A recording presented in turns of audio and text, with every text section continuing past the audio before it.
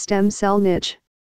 A particular zone of tissue composed of a specialized microenvironment where stem cells are retained in a undifferentiated, self-renewable state.